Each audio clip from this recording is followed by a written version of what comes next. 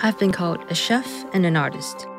In 2007, I started out 2 a.m. dessert bar in Holland Village, Singapore, and soon Hong Kong and Tokyo. I work with seasonal ingredients, creating numerous desserts, all fun, all in the name of food art. I always wondered, what if I never knew what a dessert was supposed to look like? So I'm constantly challenging myself.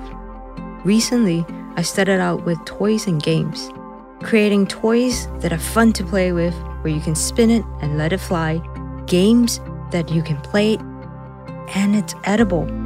Then in 2011, I created my first art piece, which is a marshmallow ceiling. And I paint with chocolates and gummies, sculpting marshmallows and sugar. There's no rule to art, and that's the beauty of it.